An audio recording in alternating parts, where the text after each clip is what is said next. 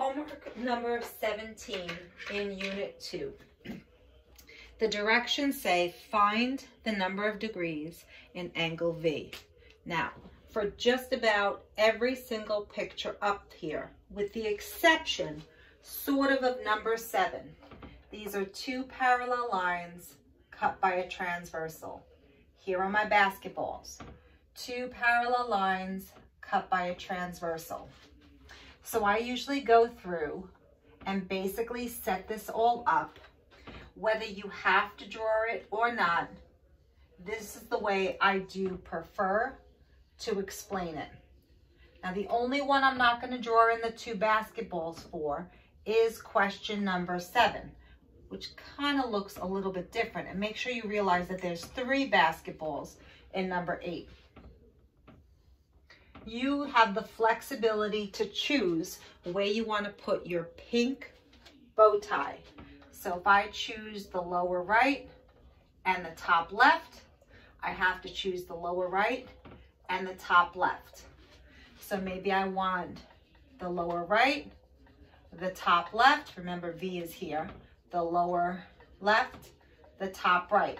The ball never spins when the lines are parallel.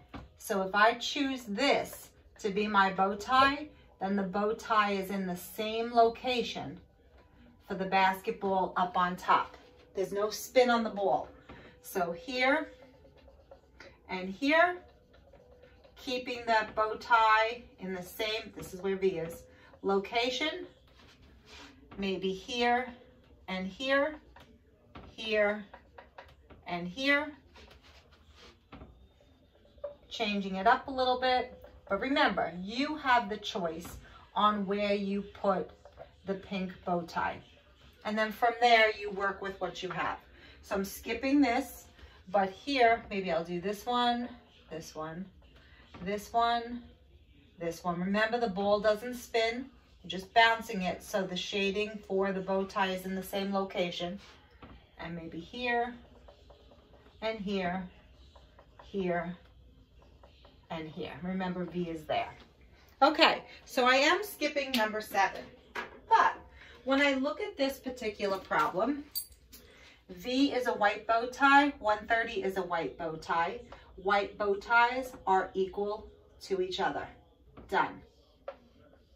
Looking at number two, V is a pink bow tie, 128 is a pink bow tie.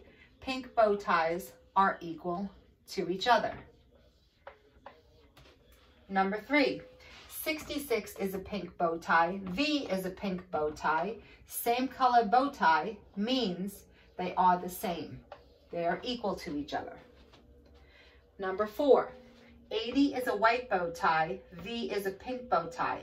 Anytime they have two different colors, you have to add them together and always set it equal to 180. Now you could do the math work or just look at it and say V has to be 100. But I am going to show the math work. So if it's different color bow tie pieces, you add them up and you set it equal to 180. So V is a white bow tie, but the 90 degree angle is a pink bow tie. So V plus 90 has to equal 180. That's technically how you're supposed to solve these. So when you subtract 90 from both sides, it is just coincidental that they come out to be the same number. Sometimes it's an even split. Okay, number six, V is a white bow tie. 81 is a white bow tie. If they're both the same color bow tie, then they are equal to each other. We are skipping number seven for a moment we are going directly to number eight. 58 is a white bow tie and V is a pink bow tie.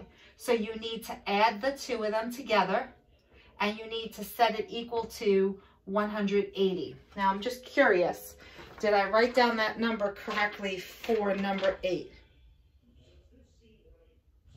I did. My problem is I didn't label it correctly. So this is not the way it's set up on the diagram. The 58 is, my apologies, Now it is written down or drawn correctly. So V is a pink bow tie, 58 is a pink bow tie. That means they have to be equal to each other. And finally, number nine, 130 is a white bow tie, but V is a pink bow tie. You need to add them together and set it equal to 180.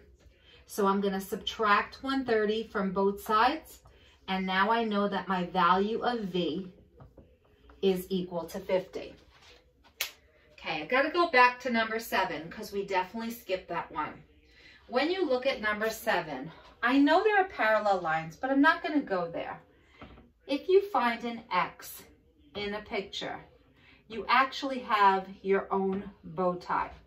Both of those angles are 83 degrees. So I'll put an 83 in here also. And if you look at your diagram, you have another X there is an X over here and here. And they clearly put a, a, V here, right? So if that's V, then I know this one's also V. Unfortunately, I don't know what it's equal to, but they are both the letter V. Now, when you look at this, you can pretty much pretend that you do not see this line going across. But to do this problem a different way, if these are your two parallel lines, and I'm going over them in green a little bit darker, here's one line and here's the other line.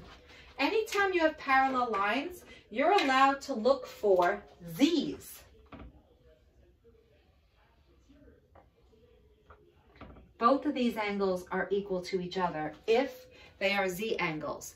Z angles, the proper name is alternate interior angles, and they are always equal to each other.